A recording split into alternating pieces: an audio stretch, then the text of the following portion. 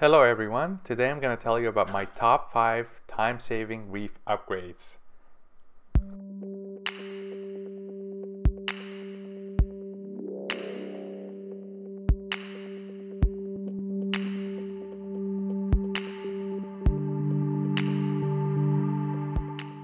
Hello everyone and welcome back to Amra Azul TV. Here's a video of my Red Sea Reefer 250 when it was just about 3 months old, so about uh, 4 years ago and I was really excited when I got this tank. Uh, previously, I had like a, a, a, bre- a I think a 20 gallon breeder, and it was uh, just kind of getting getting my feet wet, uh, so to speak. And I was super excited when I got the Red Sea Reefer, where it had a sump. I could actually use like a skimmer. Uh, I could use all of these uh, cool reactors, and uh, I finally had like space to grow and lights to grow Acropora. Uh, and I managed the tank uh, uh, effectively like manually for the first uh, year or so. Uh, so everything was done manually. There was like zero automation, and you know the, things things were were okay. There was I think you can run a tank without any fancy automation, but just I, you know I have a busy schedule with work. I have a family, and and you don't always want to spend all of your free time looking after your tank. So over the years, I've invested in kind of several uh, systems uh, upgrades to the Red Sea Reefer uh, that I found to be uh, really awesome in terms of uh, saving me time and allowing me to focus on on the more uh, enjoyable aspects of of keeping a reef, like watching corals grow, documenting things um, and uh, and uh, and fragging corals when when they get large.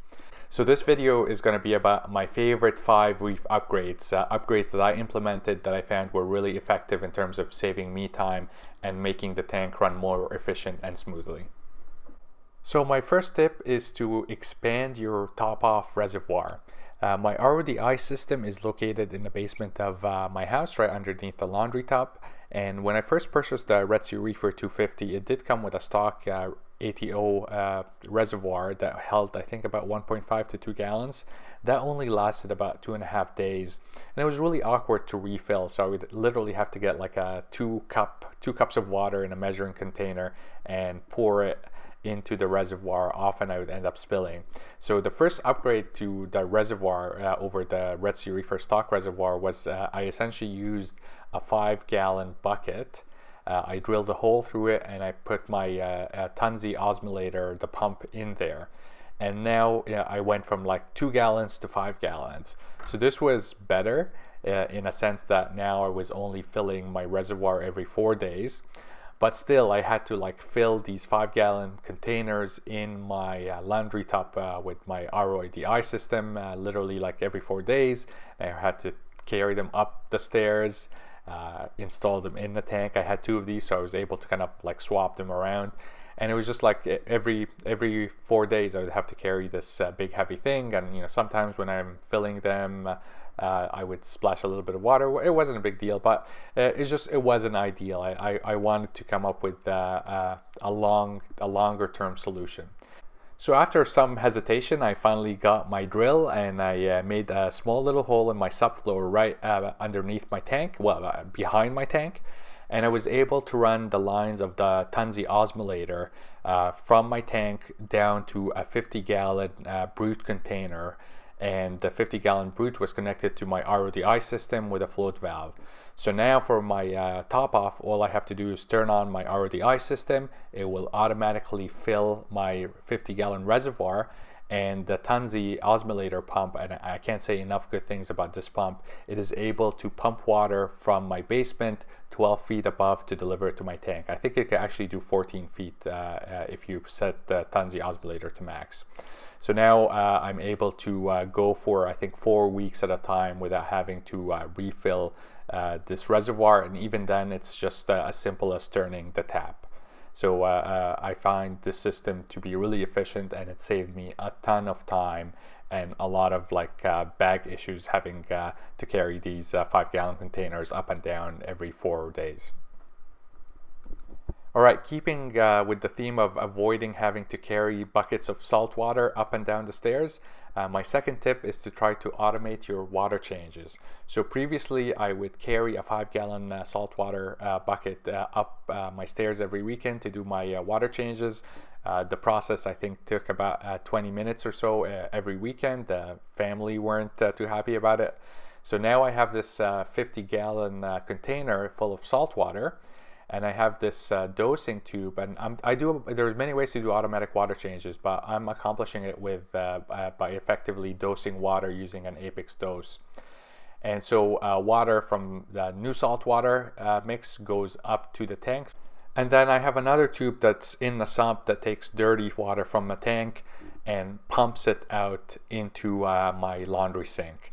Uh, so I do two liter uh, daily water changes now. I think that helps in kind of stability of the tank, but uh, again, it saves you a lot of time and a lot of effort lugging uh, buckets of salt water up and down from the basement. All right, uh, tip number three is a fairly obvious one. It's an automatic feeder. So I do have lots of fish, lots of wrasses. Wrasses like to eat many meals throughout the day. Uh, so I typically feed my uh, fish four times. once in the morning, frozen manually, and the other three I use my automatic Eheim feeder. And uh, I, I think uh, automatic feeders are, are really a great way to kind of uh, save time and to kind of feed in a more consistent manner, right? You're always metering uh, a similar number of pellets uh, at, at uh, specific times during the day. I think that helps kind of get the fish on a schedule. And obviously, if you ever go away on vacation, you're going to need uh, somebody to uh, feed your fish. And uh, yes, it's nice to have a neighbor drop by and, and feed every now and then. But again, if, if you do it with an automatic feeder, things are just going to be much more consistent. Uh, so I really like the Eheim uh, auto feeder. Uh, it runs, I think, on maybe two uh, uh, double A batteries, and I haven't had to change the batteries on these since I bought the machine. I think maybe four years ago. So uh, really good investment, will save you lots of time and will keep the fish, keep your fish happy and, and fed. All right, my fourth tip is get a tank controller. And okay, so th this is going to be a bit of a controversial topic, and I'm not in any way endorsing Apex here. Uh, if you follow the channel, you, you know that you know I have a love-hate relationship with my Apex system. Uh, but I think an aquarium controller gives you a lot of information, like the most basic types will will uh, will provide you with information on like pH and temperature, uh, so it acts as a tank monitor. Uh, but then you could get really fancy, and then you could start to kind of program things and and being able to effectively change the behavior and look of your tank uh, by pressing some buttons on an app.